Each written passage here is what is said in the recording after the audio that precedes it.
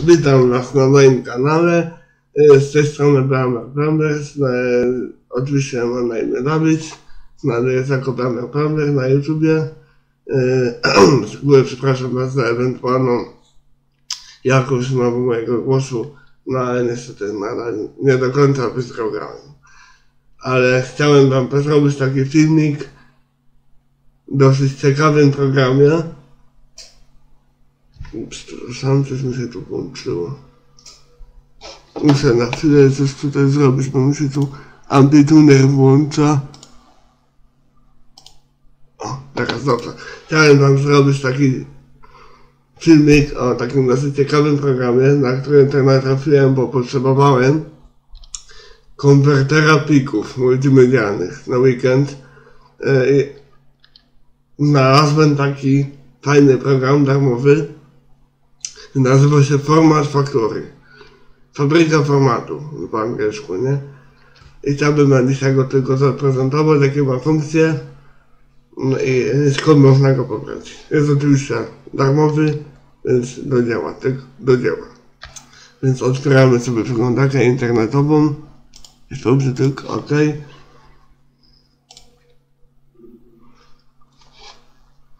I wpisujemy sobie format format factory.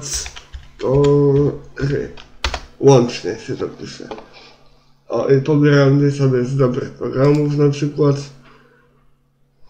I tutaj klikamy pobierz program, zapisujemy instalkę na dysku i instalujemy.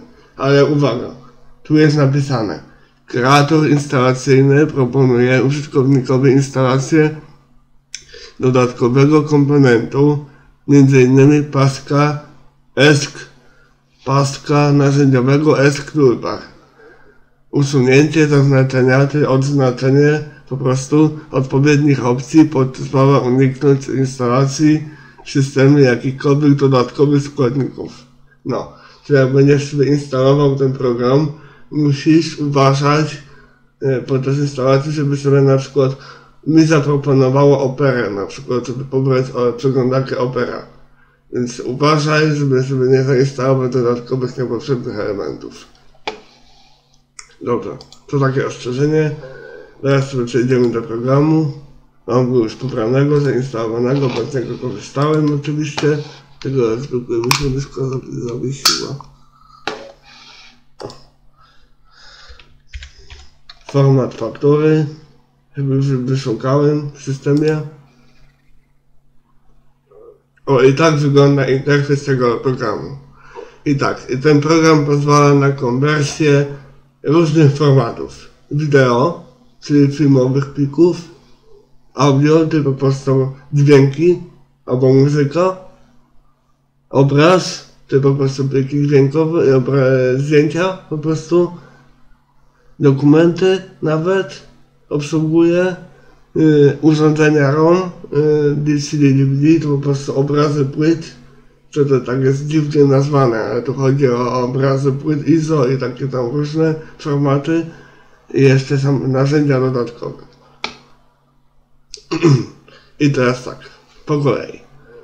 Mamy otworzoną zakładkę wideo. Jeżeli chcesz skonwertować plik wideo jakiś, na przykład otwierasz wideo, zakładkę wideo, ona jest domyślnie otworzona, wybierasz format docelowy, jaki on, do jakiego formatu chcesz przekonwertować ten plik, plik twój. Na przykład załóżmy, że masz film w formacie MP4 i chcesz go sobie skonwertować do formatu AVI. To wybierasz sobie format AVI. Klikasz tutaj AVI, szukamy, jest na pewno, bo jest AVI, proszę, AVI do tego formatu konwertujesz sobie plik. Chcesz konwertować, to wybierasz sobie AVI. Przepraszam na chwilę, muszę zrobić zdjęcie. Wybierasz sobie AVI, klikasz AVI, tak. I to wyrazi się okienko. I teraz tak, dodajesz sobie plik, który chcesz skonwertować. Tak dobierasz, klikasz dodaj plik. A jeżeli masz dużo tych plików, na przykład folder jakiś, to możesz sobie tutaj dodać cały folder. Yy, z dodaj pliki do folderu. Aha. No, ty po prostu się wybierasz folder, nie z całą z plikami, które mają być przekonwertowane. Ale ja polecam sobie robić to po kolei, dodajemy plik. Ja tutaj mam przykładowy jakiś plik. Jeszcze raz przepraszam za jakąś moją ewentualną jakość mojego głosu, taką mam nieco chrypę, ale mam nadzieję, że mnie rozumiecie. Ok. Mhm. Ok, wybieramy sobie plik pulpitu. Powinien to być jakiś, bo ja mam tutaj jakiś przykładowy. A, nie, nie, nie, bo w innym folderze, przepraszam. Pomyliłem się, więc muszę wejść sobie na folder.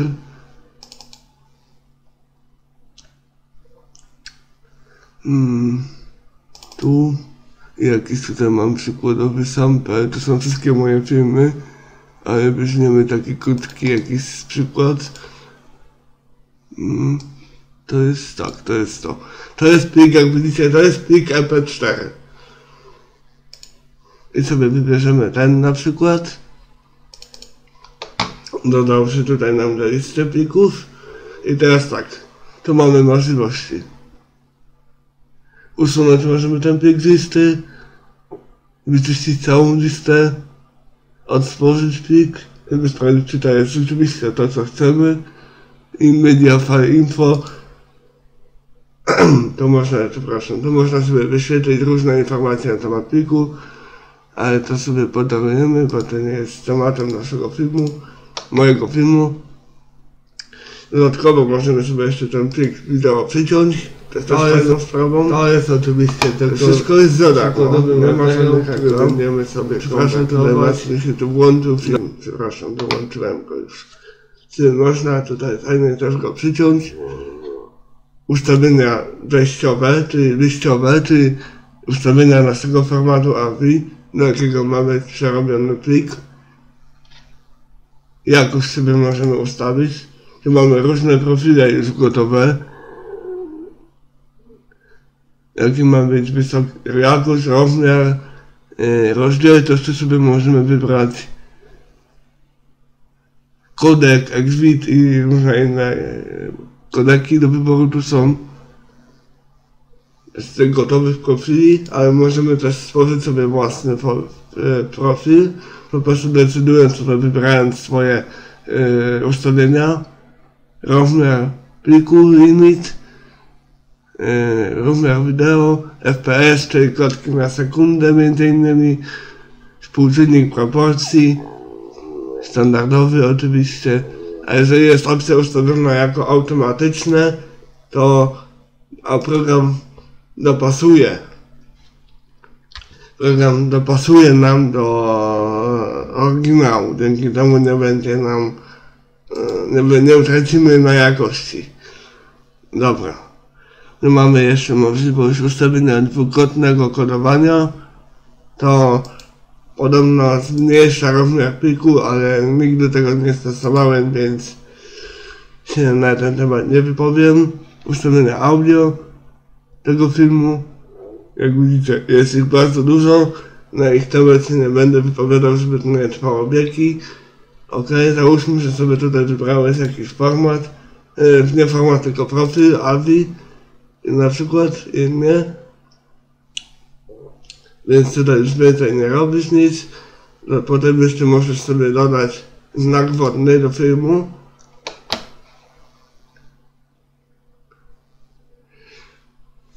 Wczytać znak wodny, dodać obraz, tekst, yy, usunąć go też. Jest ciekawa sprawa.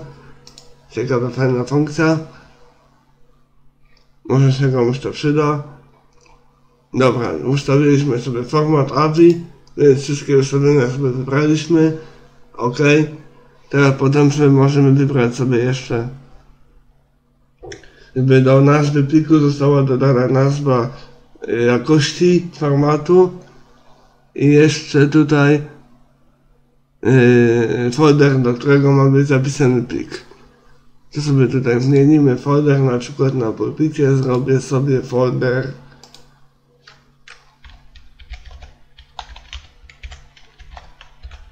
skonwertowany. OK. OK. Wybieramy. I załóżmy, że to mamy już wszystko. Sobie możesz dodawać jeszcze kolejne pliki. I do każdego pliku oczywiście osobne ustawienia sobie ustawić. Załóżmy, że to jest wszystko, więc klikamy OK. O, i nam się dodał tutaj film do kolejki. Do kolejki programu i tu mamy waiting, czyli oczekiwanie, bo jeszcze nie kliknęliśmy, żeby to uruchomiło się, przerabianie. I teraz wam jeszcze wspomnę o obsługiwanych formatach wideo przez ten program. Mamy formaty takie jak MKV, teraz MP4, MKV, WebM, GIF, czyli nawet można z- z filmu zrobić GIFa, y, MOV, OGG, to jest nawet nie wiem co to jest za format, jakiś nietypowy, jeżeli chodzi o wideo. To jest format dźwiękowy chyba. FFV, czyli to po prostu wideo flash. AVI, 3GP to jest format do wideo na stare telefony komórkowe. WMV, MPG, MPEG, WUP i SWF. Dodatkowo jeszcze program umożliwia nam zrobienie filmu, dopasowanie go do, jakiegoś urządzenia przenośnego, na przykład tutaj możemy sobie wybrać urządzenie, na przykład, nie wiem, PSP, yy, na przykład albo PlayStation Portable, albo Vita, Chyba tutaj można sobie po, pobawić się, wybierać format odpowiedni do urządzenia. Naszego przenośnego MP4 głównie to jest tutaj do wyboru. Dalej mamy ciekawą funkcję tak zwanego, można zrobić tak zwany MUX, czyli to jest takie połączenie filmu z muzyką. Czyli można sobie zrobić, wybrać jakim formacie ma być zapisany MUX, czy MP4, czy MKV. Tutaj można sobie ustawienia jakości wybrać, profil, tak samo jak poprzednio pokazywałem. Mo- Można usunąć film, dźwięk z filmu i dodać sobie na przykład podłożyć muzykę i na przykład połączyć kilka filmów jeszcze w jeden. Nie? Można na przykład tutaj dodać dwa pliki wideo. I tutaj jeszcze dodać sobie muzykę, żeby w tle jeszcze ta muzyka leciała. Z tym, z, z, tym połączonym naszym filmie. Dobrze. Okej, co jeszcze ciekawego? No załóżmy, na razie nic. Sobie tutaj dodaliśmy film MP4 i chcemy go przekonwertować do AVI. No, mamy, wybrałem sobie do AVI, już wcześniej pokazywałem, więc klikamy teraz sobie Start, tutaj do góry, tu. Ja chcę tylko jeden plik przerobić, a jak chcesz sobie dodać jeszcze na przykład zdjęcie, to sobie tutaj wybierasz obraz, wybierasz format, do jakiego ma być przerobiony i tak dalej. Ale na razie zatrzymajmy się na tym filmie, klikamy sobie Start, Czekamy, aż się przerobi. Widzicie, tutaj idzie pasek.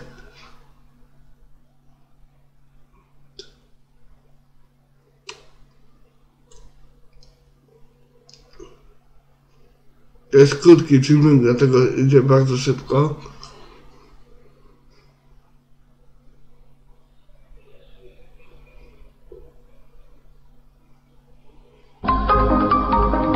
I może słyszeliście, była taka me- melodyjka na końcu.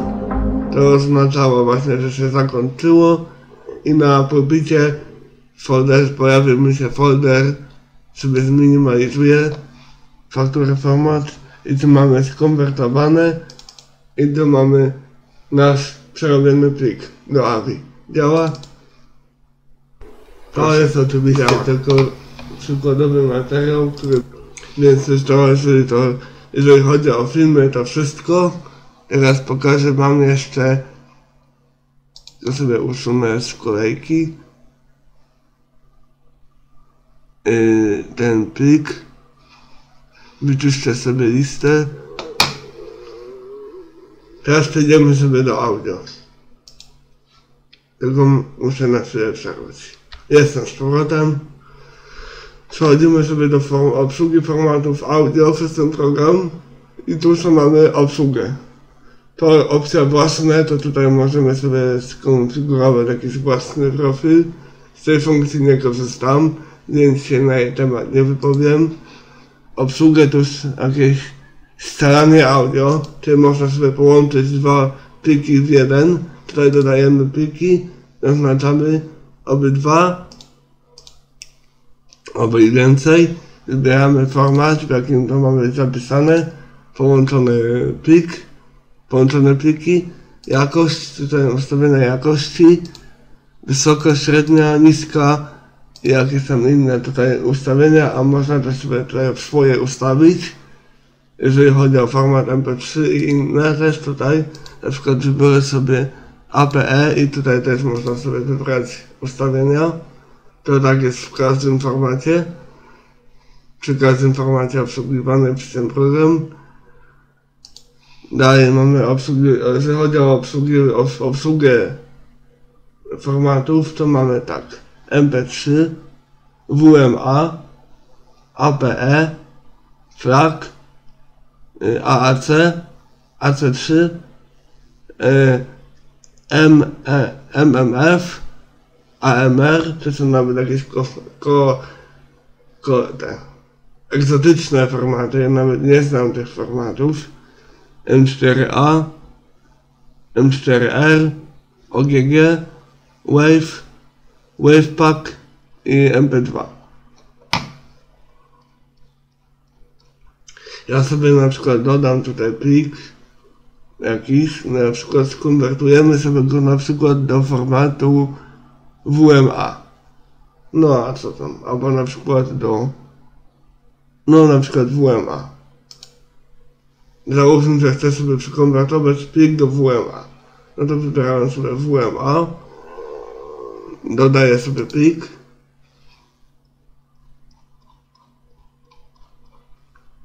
Przykładowy oczywiście. Audio MP3.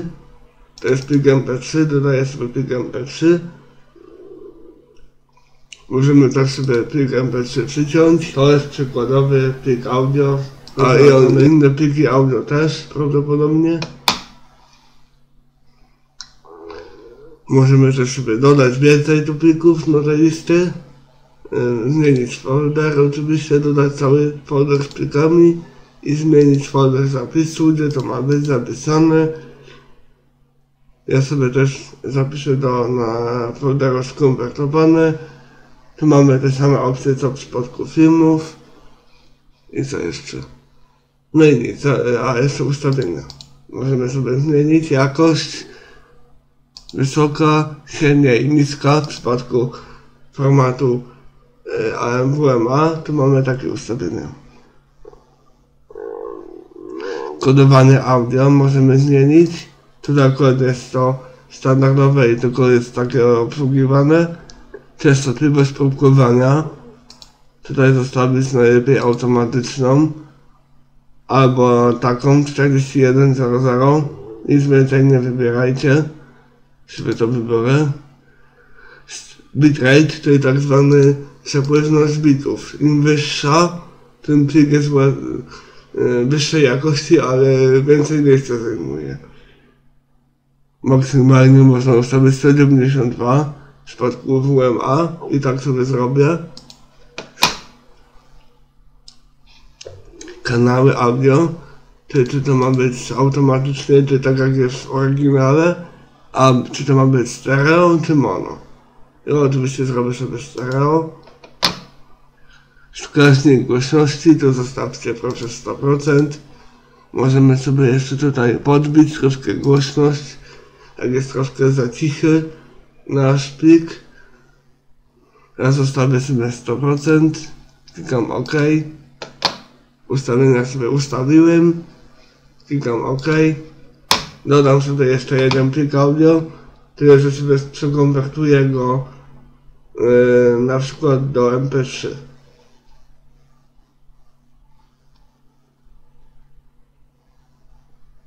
O, albo zrobię mix plików. Na przykład dwóch. Dodajemy kolejne zadanie do listy. Wybieramy sobie mix, chcemy połączyć sobie pliki MP3. No albo in, w ogóle jakieś inne dźwiękowe. Zapiszę sobie ten mix w formacie MP3. Jakość ustawię sobie MP3, tutaj format częstotliwość próbkowania ustawię sobie na 44100 Yy, bitrate ustawię sobie tutaj na przykład na 192 więcej nie wybierajcie, bo to nic więcej nie da, a będzie więcej plik zajmował. Ja polecam maksymalnie 192 kanały, czyli z dźwięku oczywiście stereo o przepraszam, tam mamy 192 tutaj wybieramy sobie stereo no chyba, że chcesz, żeby to było mono, to wybierasz mono i MBR, co to jest MBR? VBR, przepraszam. Co to jest VBR? VBR to jest tak zwana zmienna przepływność bitów. Jak sobie to zrobisz na przykład na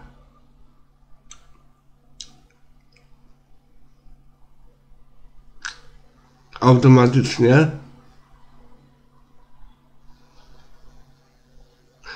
to wtedy będzie tak jak jest w oryginale, ale to sobie możesz ustawić na przykład na VBR. Wartość VBR na przykład na na 4. To wtedy ten plik będzie miał jakość pomiędzy 165 km na sekundę od 0 do 165. Zależy jaki jest skomplikowany. Jeżeli jest dużo na przykład dźwięków, to ten plik będzie więcej zajmował, a jeżeli jest więcej ciszy, to ten plik będzie mniej zajmował. VBR się przydaje, jak chcesz na przykład sobie konwertować i zapisywać te yy, nagrania dźwiękowe, jakieś mowę na przykład, albo mowy jakieś, albo nagrania, na przykład audycje jakieś radiowe, podcasty, to to się bardzo przydaje, bo wtedy zaoszczędzasz sobie, oszczędzisz sobie miejsce dzięki zmniejszeniu rozmiaru pliku poprzez zmniejszenie bitrate'u tam, gdzie jest cisza. Mam nadzieję, że rozumiesz o co chodzi. Ja sobie z VBR-a zrezygnuję, to jak sobie go wyłączę, to wtedy niezależnie czy to będzie y, głośny plik, czy skomplikowany, czy prosty, zawsze będzie jedna sekunda zawsze będzie zajmowała 192 km. Tak jak sobie tutaj ustawiłem. Jak będą jakieś pytania, to proszę pisać. E, To wtedy jakoś w komentarzu wyjaśnię o co chodzi. Dobrze, załóżmy, że sobie tak lub tak to wszystko pasuje. Sobie tu można nawet swoje ustawienia zapisać jako swoje. Tak podobnie jest w przypadku filmów. Ok. Dodam sobie te pliki teraz do tego mixa. Obydwa, na przykład te, ten i ten. Pyk.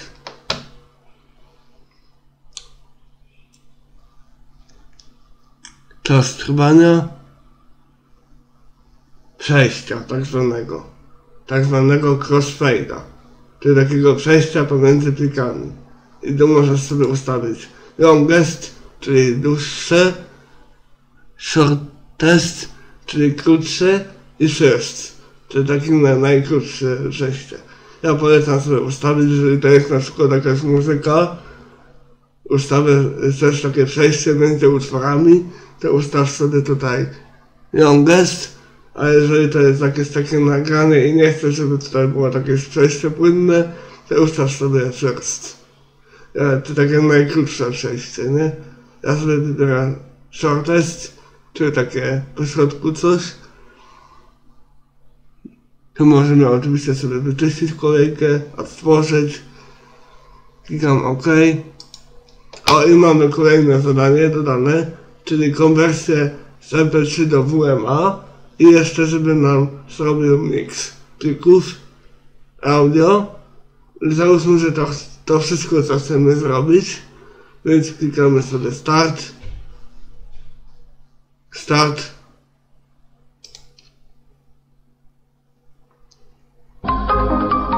Tada, zrobione. No szyb, szybko to bardzo trwało, bo to są bardzo krótkie pliki. Ale zrobiło nam, przekonwertowało nam plik ten do WMA, a tu, a tu nam zrobiło mix. Zaraz sprawdzimy, czy ten mix się udał.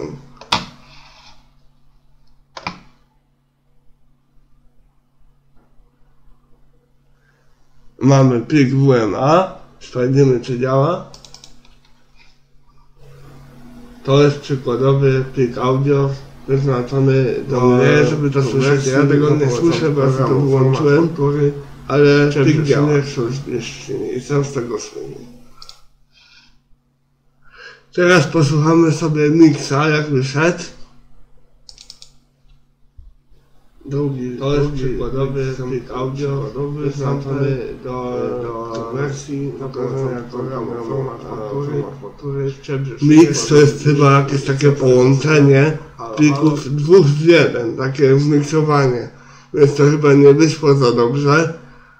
Ale tam jest jeszcze opcja, która się nazywa scalanie audio. Więc sobie teraz znowu wyczyszczę listę kolejki zadań i zrobimy sobie scalanie. Gdzie to jest scalanie? Hmm. Jak długo no, sprawdzę tylko jak długo nagrywam. Bo nie chcę, żeby to też długo trwało. 27 minut. No to jeszcze trochę poopowiadam wam o tym programie i będziemy kończyć. Teraz sobie zrobimy scalanie plików audio, czyli wybieramy opcję scalanie audio. Bo na ten mix, co ja zrobiłem, to było takie zmiksowanie dwóch plików w jeden. Czyli te dwa nagrania były odtwarzane naraz. To nie, nie, nie było to, co chciałem uzyskać. Więc wybieramy sobie scalanie, czyli połączenie jakby dwóch plików w jeden. Format oczywiście zapiszę sobie to jako mp3 dodam sobie dwa pliki. Ten, ten i ten. OK. Oczywiście sobie dodać folder możemy z plikami. Te pliki oczywiście poprzecinać. Audio sobie jakoś ustawię. Nie będę tych ustawień omawiał jeszcze raz, tylko sobie sam już poustawiam. Tak jak chcę. A jest tak zachowało się nawet, także jest dobrze. OK.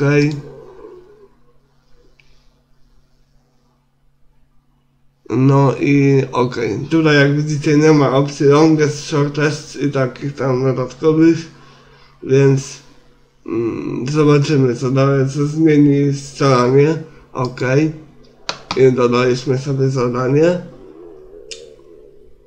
Więc klikamy sobie start. Pyk. O, zrobiło mi plik połączyło i teraz spróbujemy to odtworzyć.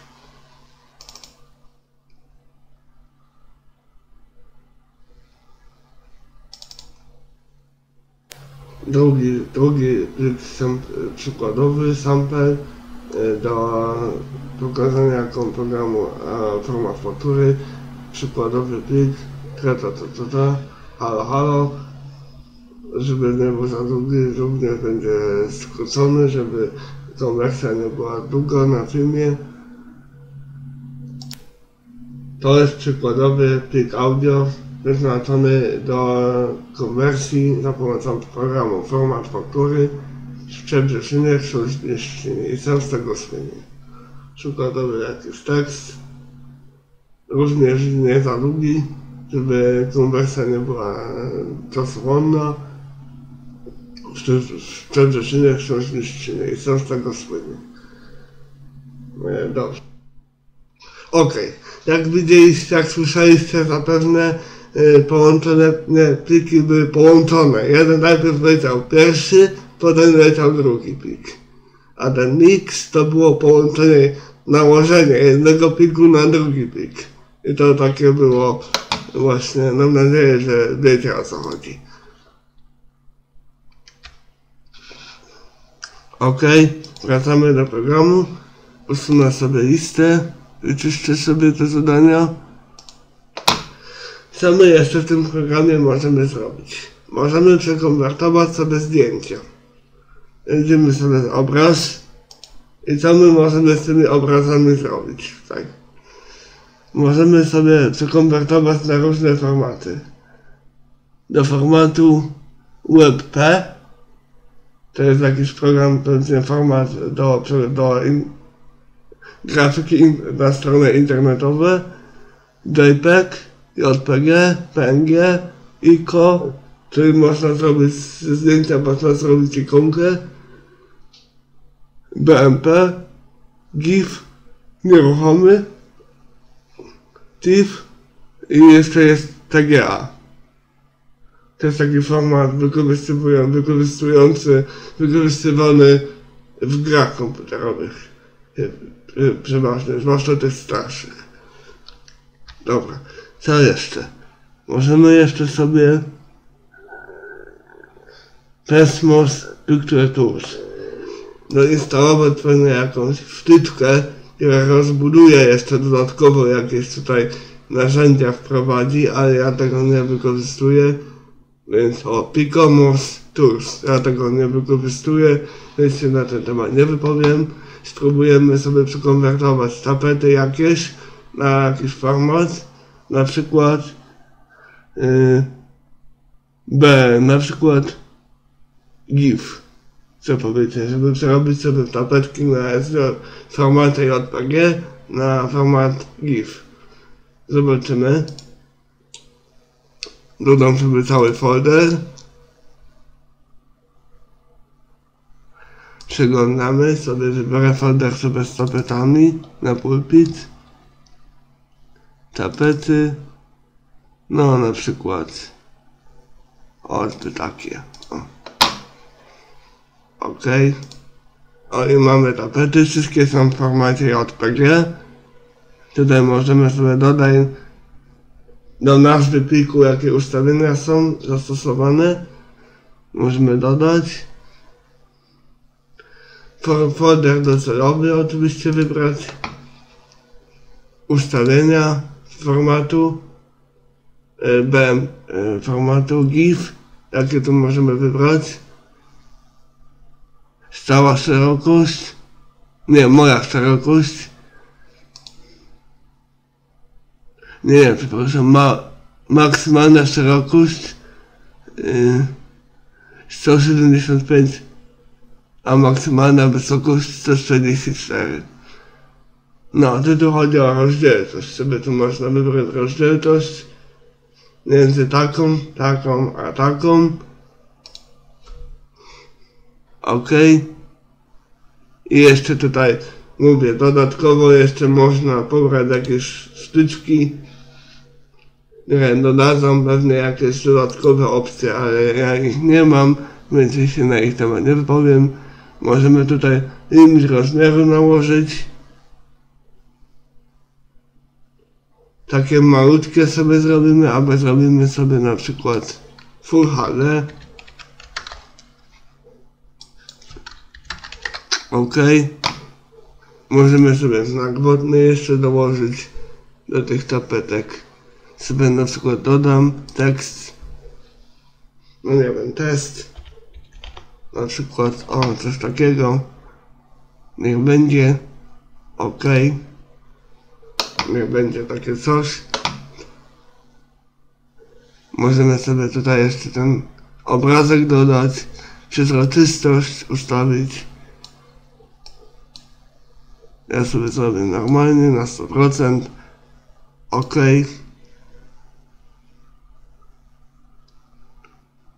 OK. Test. No, no i tak chcemy sobie dodać taki napis do test i przerobić te grafiki do formatu GIF. Więc klikamy OK. No, mamy dodane, mamy wszystkie grafiki. Więc y, klikamy sobie Start.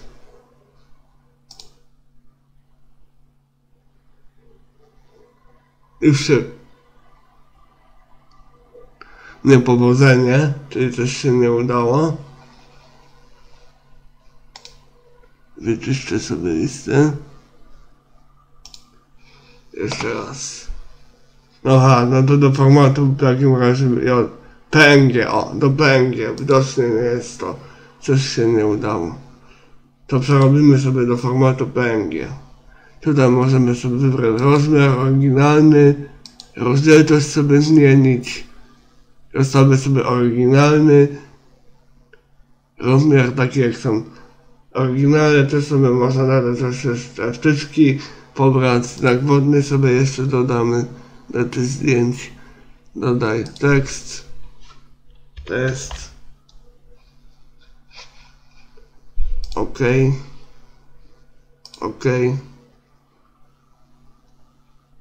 pyk,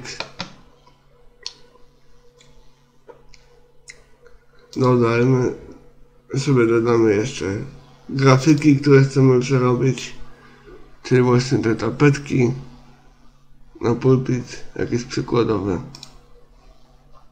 Oczywiście to jest tylko przykład. Zaznaczymy sobie wszystkie. Za pomocą Ctrl A, Ctrl plus A to zrobiłem w razie czego. Folder docelowy sobie za, za zrobiłem, więc ok. I spróbujemy teraz. O, teraz się widzicie udało. Znowu była melodyjka, więc wszystko się powiodło. Więc sobie zminimalizujemy programik i zobaczymy, czy te grafiki są dostępne. O, jak widzicie są dostępne nawet chyba po dwa razy. No, bo mamy w formacie GIF i w formacie PNG. A oryginały były w formacie JPG. I zobaczymy, czy GIF jest e, za pomocą zdjęć. Jest, jak widzicie, znaczek test, który się dodało. E, PNG tak samo. Tak, jest, proszę bardzo. No, ty konwersja się udała. Pomimo tego, że było napisane niepowodzenie, do GIFa się przerobiło, więc widocznie to jakiś bug jest w programie. Ok, wszystko. Wyczyszczę sobie listę. Co jeszcze tu możemy zrobić? Możemy sobie konwertować nawet dokumenty, ale tego wam nie pokażę, bo tego nie wykorzystuję, więc sobie to podarujemy. Tylko powiem wam, jakie to są formaty obsługiwane. Z PDF-a do HTML możemy przerobić pliki do formatu MOBI. To jest taki format yy, przeznaczony do czytników e-booków albo do telefonów starszych. EPUB tak samo. To jest format e, książek elektronicznych, tak zwanych e-booków. I jeszcze jest AZW3. To nawet nie wiem co to jest za format. Też do czytników, na który widzicie jest narysowany Kindle Fire na tej grafice, więc tak podobne. A trzeba te pobrać jakieś kodeki dodatkowe z internetu. Fabrycznie one nie są zainstalowane. Więc bierzemy sobie Mobi. Tutaj też. No, bo z tego nie korzystałem nigdy, dlatego widocznie nie mam kodeków, bo nie mam czytnika książek. Więc yy, się na ten temat nie wypowiem. Dalej mamy urządzenie ROM. No to tutaj sobie możemy sobie konwertować w podobny sposób jak poprzednio pokazywałem obrazy ISO, zgrywać sobie filmy z Blu-raya do formatu MPM-KV, zgrywać sobie płyty DVD do formatu wideo, po prostu wybierasz sobie tutaj napęd, płyt, gdzie jest płyta włożona i po prostu sobie zapisujesz tutaj do formatu MP4 albo do jakiegoś innego formatu. Nie? Wideo. Napisy, to jak są nagrane na płytę, też może, mogą być zrobione y, zgrane z płyty. Tytuł pliku, nazwa pliku i tego typu ustawienia. Co, co fajne też, można sobie zgrać muzykę też z płyty CD. Mm, ja to tylko nagrywam. No, za chwilę będziemy kończyć. Można sobie zgrać nawet muzykę z płyty CD.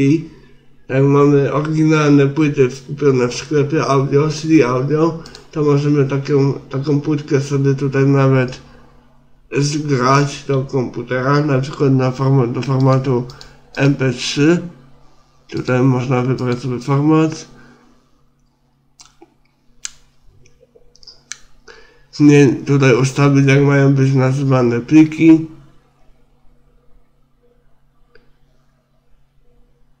Jeszcze tu można sobie chyba pobrać informacje z, o płycie, która jest zgłoszona z jakiejś usługi internetowej. Wybrać sobie tutaj jakość, ustawienia tego formatu MP3 i tutaj sobie jeszcze podłożyć chyba okładkę. Można. To jeszcze konwert, no, tym można sobie skonwertować. No to jakąś płytę mam położoną, ale to są tak naprawdę MP3, więc, więc nie będziemy tego robić. Dobra, no i ostatnią funkcją programu jest czy zrobienie zgranie płyty z CD albo DVD do obrazu płyty ISO, więc sobie tutaj wybrać ISO albo CSO. CSO to jest tak naprawdę to samo co ISO, tylko to jest taki skom, skompreso, skompresowane ISO, czyli mniej, mniej, forma, mniej miejsca zajmuje. Ale CSO jest nie, nieobsługiwane przez każdy program. Na przykład ten Demon Tools chyba nie obsługuje CSO, o ile dobrze pamiętam. Więc no nie jeszcze na koniec można przerobić sobie no i na koniec jeszcze można przerobić sobie ISO do formatu CSO, nie? Czyli w ten sposób sobie właśnie przerobić, kompresować zwykłe ISO do CSO. No, no i to myślę, że to wszystko. Nie będę już przedłużał. Mamy jeszcze zadania. Możecie sobie przejrzeć ustawienia programu. Tutaj nie warto, nie, możemy sobie tutaj powłączać, wybrać sobie folder domyślny gdzie mają być zapisywane pliki, włączyć opcję, po której, e, dzięki której po zakończeniu komputer się wyłączy, otworzyć folder po zakończeniu, dźwięki można ustawić, łączyć, minimalizacja do pasku zadań, sprawdzać aktualizację oczywiście, nie, no zaawansowane ustawienia to już dotyczące nasz przerobienia tych plików. Tu lepiej nic nie zmienia, bo sobie można coś tutaj popsuć. Nie ma takiej potrzeby, mi się wydaje. No i ustawienia ścianek, napisów do filmów.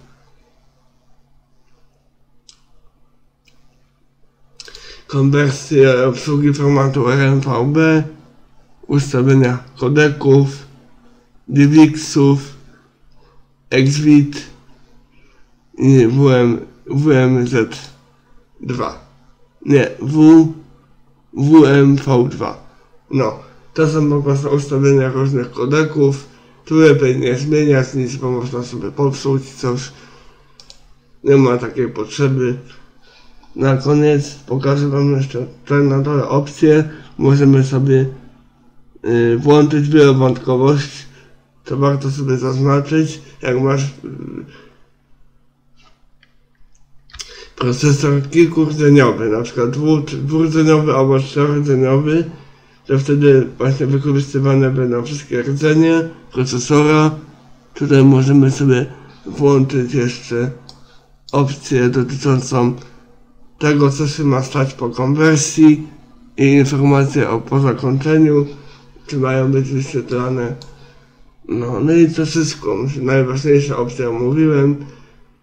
A jeszcze mamy zakładkę narzędzia. A to tutaj mamy możliwość jeszcze połączenia filmów w jeden, zmienić nazwy, możemy plików portowo połączyć e, audio, to co już mówiłem, zrobić muxa, czyli połączyć film z dźwiękiem, mix, możemy połączyć kilka dźwięków, plików dźwiękowych, nałożyć je na siebie i jeszcze można wyświetlić informacje o danym pliku. Dobra, no to myślę, że to wszystkie opcje najważniejsze omówiłem w tym programie. Nie będę przedłużał już. Tu możemy sobie wyświetlić domyślny folder i zarządzać tymi plikami na liście i na koniec jest przycisk umożliwiający przejście do strony producenta. O. Więc zamykamy sobie już ten program. Podsumowując, mi się wydaje, że ten program, format faktury jest dosyć dobry, jak na darmowy konwerter. Mógłby nieco, mógłby nieco szybciej pracować, e, ale jak na darmowy program działa on naprawdę dobrze. Więc polecam, sobie pobierzcie i sobie zainstalujcie, jak potrzebujecie zmienić jak potrzebujecie zmienić format pliku, więc jeszcze raz przepraszam Was za jakość yy, głosu, dźwięku, no ale jeszcze nie do końca wyzdrowiałem, więc ale chciałem Wam pokazać ten program, bo wydawał mi się dosyć interesujący, więc do zobaczenia. Łapkujcie, subskrybujcie kanał, łapkujcie filmy, udostępniajcie je znajomym, niech sobie zobaczą. A ja się z wami już żegnam. Do zobaczenia. Cześć.